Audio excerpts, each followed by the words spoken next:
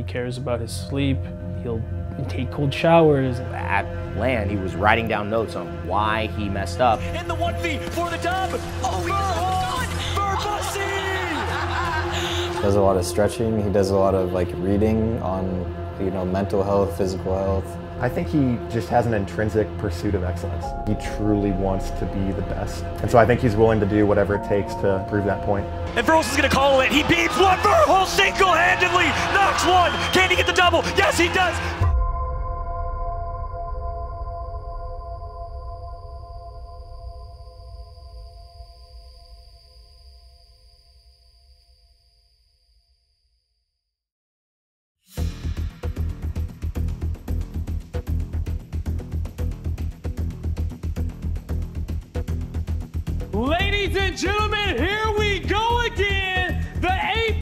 Apex Legends Global Series playoff is once again in beautiful London. I mean, I came into split two, and the difference between that and split one, after TSM's win, it felt almost too good to be true that we would have such strong storylines heading into split two. If, like, can they really go back to back? Can they really do what they're known for doing again, a second time, a third time? So that thought stayed in the back of my mind that I feel like TSM are still here to play. I'm batting now, I'm I'm not with you guys. No, I'm not on the height. I'm not on the height right now. Bang is low. Bang is low. They're all three there. They're, they're all three there.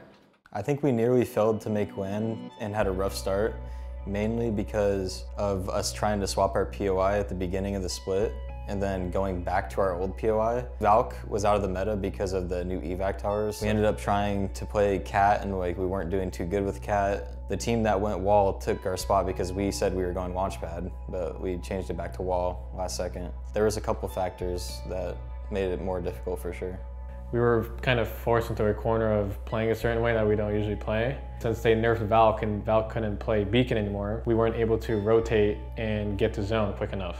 I had to play um, Catalyst because obviously both my teammates, they've been playing Valk and Seer. I didn't enjoy playing her. Um, I felt like I wasn't able to play aggressive enough. I wasn't being enabled as a player. So I was kind of playing Catalyst just so we could have zone knowledge. It was pretty hard for us to be honest, like trying to figure out the sweet spot, like who's gonna take the hit. There was really no perfect comp at the time. There's definitely a moment where we were like, okay, this is, it, this could be unlikely. Having the first half of Pro League give us some pretty terrible results. Like at, at that point, we were definitely like pretty stressed out. Like that was definitely like the height of all the tension. So It does suck to know or to hear your leader say like, yeah, like we're not making it. Like I understand how he is and he's, he usually he tends to have a negative mindset. I was able to bring it, the positivity up a little bit at least. And me and Evan still knew like we had a high chance to make it. You know, I even after like when we won, uh, both my teammates had double digit kills and I had like five. Like I said, obviously I'm still IGLing and doing macro and you know doing my part, but they did more than just what they were a- asked to do. They pulled me out together, and now it's our turn to uh, you know do it all together at land. You bang up to me, bang up to me. You bang up to height. I don't know if you You got like the height. I'm jumping down to push him. Is he still in the water? No, you're, you're in up on, on that side of my boat now. Well, Evan is the youngest of four of um, four boys, and he really grew up sort of in the shadow of watching all of their sporting events. He would have to go to their practices, um, and he would watch all of their games. He really enjoyed playing video games, and it was something that he and his three older brothers could do together, and even his father loved to play with him. I'd say Evan has a very quiet and kind of thoughtful personality and always kind of sees things through a different lens than, than everybody else. Uh, you know, Evan is one of those guys that's selfless in, in the in the right ways. Evan, through his family, you, you see his brothers, his, his father, his mother. You could tell that he is a family first, he's a group first thinker, and he wants to do the best he can to better the situation of people around him. I'd say he's like very calculated. Calculated player. very calculated. Extremely talented player. See where left side. Yeah, I'm gonna try and wall up. Okay, my daily routine can vary day to day. I don't have a set routine at all. I'll wake up, try and have breakfast, and then I will take a cold shower right after I eat breakfast, and then go to the gym. Maybe do like an hour of firing range before I start my stream just to get warmed up, and then rip like an eight hour stream. After stream's over, I'll usually just like take it easy for the rest of the day. If I'm really craving some Apex, I'll go and play offline, which does happen every now and then. All right, chat. Raiden, Loki, Ross. I'll see you guys. Uh, actually, probably we're not streaming until LAN, and after LAN. Yeah, after LAN. You guys have to watch. Yeah, I won't have my own POV during LAN. You guys have to watch. Uh, ALGS. Like the whole thing with him taking notes, like that started way before he was even on a team. Like I was like, Evan, man, how you doing? He's like, oh, I'm all right, and he'd be taking notes on how to improve, like just as like by himself, no team at all, because he just really knew that like he had a shot at being really good and getting on a team.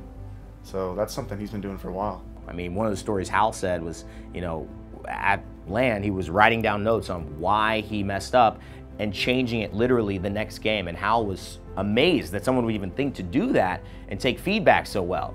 Evan is a good example of what it means to be a player with skill, but also take that skill in the right direction with constant adjustment to your own game.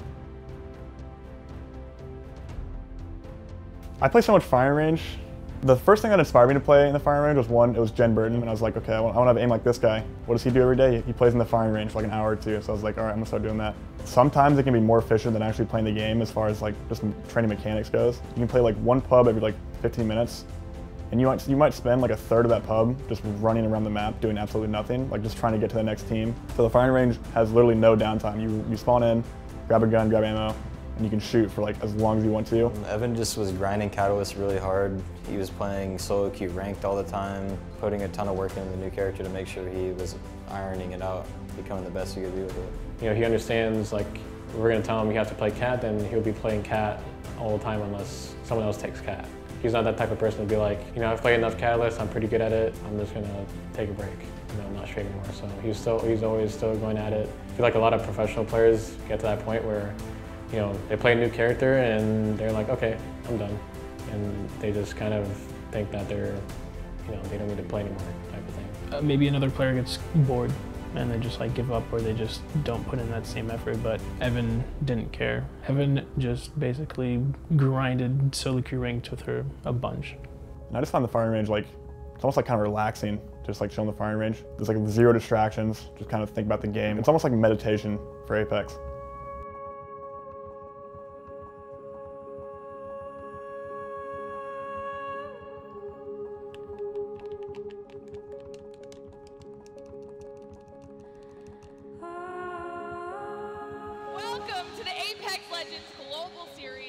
Split 2 playoffs. We have 40 of the best teams in the world gathered here this weekend to compete for the title of Playoffs 2 champion.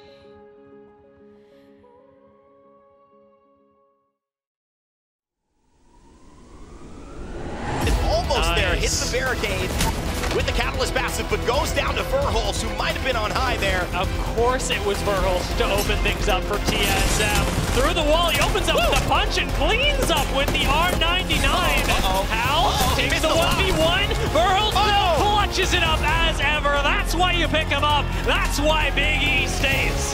Oh, he's going in. pushes out. Oh, he's going in. Boy, does he shred. Alternator, doesn't matter how gets the first knock in. Verhulst and Reps trying to follow up, but North Engine, they've been as good as anyone, but Verhulst! Verhulst! Wins it for TSM again! 70, 78, crack, 100, 100, 100, crack. All right. He's one, he's one. He's one shot. Play me, play me, play me. I'm going on. I'm batting, I'm batting, I'm batting, I'm. Slow, slow. I have no ammo. Slow. Dead. Uh, excuse me? Verhulst should never be able to do that in a perfect scenario, but Verhulst is built simply different.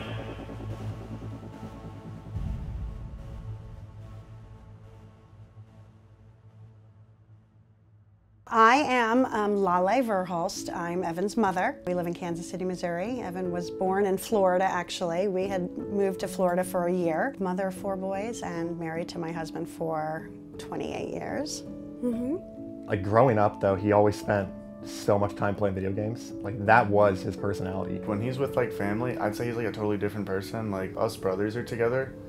You know, it's it's totally not the Evan you see like on stream because we're always like kind of going at each other. But out in public, yeah, he's I'd say he's different.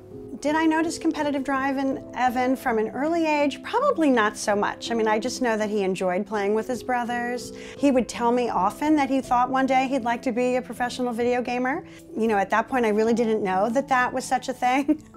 Definitely as he got older, that desire never went away. Evan is an extremely talented player. The first time I saw him, I was casting an arena tournament with him, and I thought he was cheating. Uh, if you ever find the clip, you'll see me comment and stop because my first thought is to say that looks like aimbot. We knew he was a talent, but talent gets you only so far and it's about how do you take it. And that's where Verhulst to me was special, that he would take his talent and put as much hard work in as someone who wasn't talented. That was what caught my eye about Evan in the first place.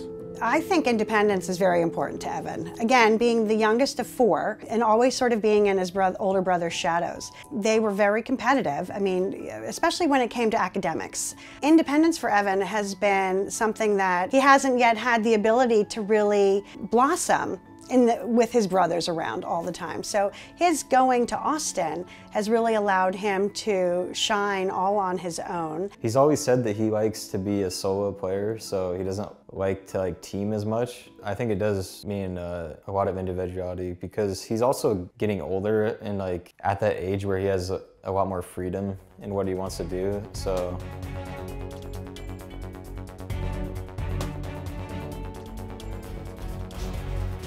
TSM on your screens right now because they're in a fight inside of Geyser and Reps is going to start shredding away. Save. Dark Zero go down. Six of the eight teams are still outside of the circle at the moment, all trying to force their way in. Several downs here for TSM to try and finish. Whilst you're taking this damage, you've got to be thinking about what position you're going to take as Realize will fall. Moist also go down. TSM, they forced up and they're still going.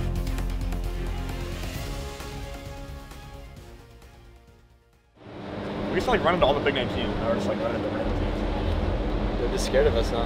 Yeah. Oh, They're scared of you. Avoids. They're scared of Big E. Just go back K, I mean, the only team that's gone back to back is Dark Zero and TSM. And the fact that TSM had done it so long ago, we had started calling Dark Zero the modern kings of LAN.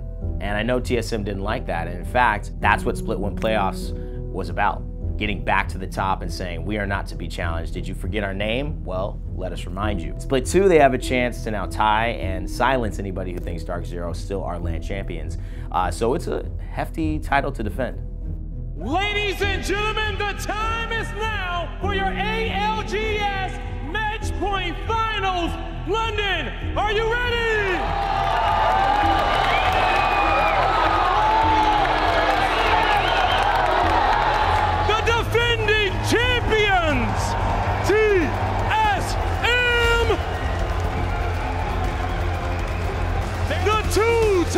Champions, Dark Zero!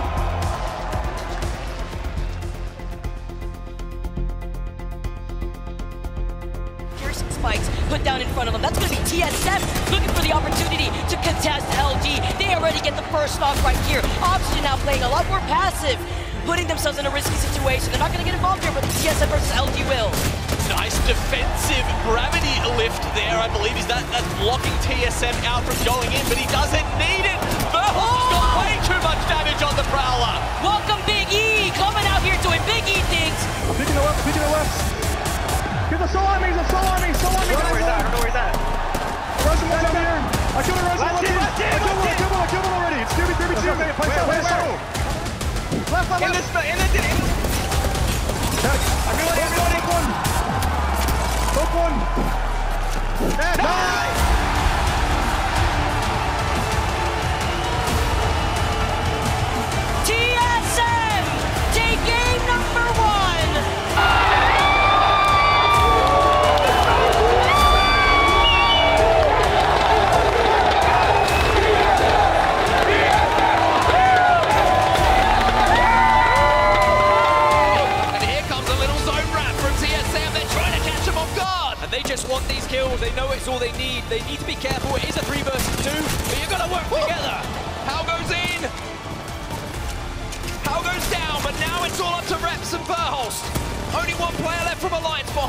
Knockdown shield. Surely they clean this one up. Surely they get it done. Alliance eliminated. But here comes the third party. Fnatic will clean up TSM, but TSM have done enough.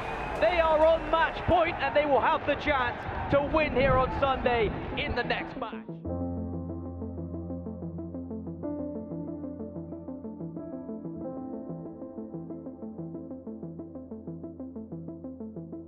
And Dark Zero still have to fight this two versus three. Zero, barely any HP to play with as well. Vayne is going to be the man who gets it. Auction and Esports, who just got onto match point, will take out Dark Zero. They will not win it here. They're, they're, yeah, they're dying, they're dying. Come over here, come on, follow Coming me, up. follow me. Nading that. Scanning that, scanning that. Don't be Come on, stopping. Nice, I got swap, swap, swap, They might swap. take a few, they might take a few. I'm batting right now, batting right now, batting right now.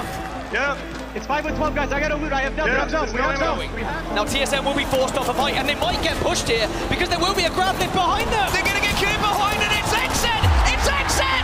They take out TSM.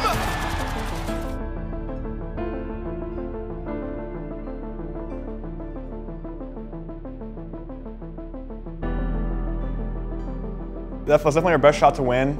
And teams teams just saw that we were on match point, and they just they kind of like they knew the objective. It's like you see a team on match point, you don't care about anybody else around you. You just focus that team. But honestly, like, I, don't, I don't feel too bad about it. Like having made the mistake, like we should have been watching for teams to queue up on us. That was, that's like, like the only way we lose. Even if we had been watching Xset queue up on us, I think we still might have lost because FaZe queued up right behind them. So we would have had to kill six people in a span of about 10 seconds. So Players make their rotate, but there's action elsewhere, and it involves TSM. Ascend have been eliminated. They've done job number one, but now Reps and ImperialHal have to do it to keep their chances of winning in this game alive. 100 Thieves are on one side, Gambariot is out on the other side. TSM are getting sandwiched, and Reps is the last remaining player And 100 Thieves are doing so much damage from the high ground. Can Reps buy the time? No! TSM full! 100 Thieves out. Well, but what an effort Dark Zero now moving. Dark Zero, Optic Gaming, and NRG. But Dark Zero are losing. They're taking damage, but no! Here comes Zero! Zero,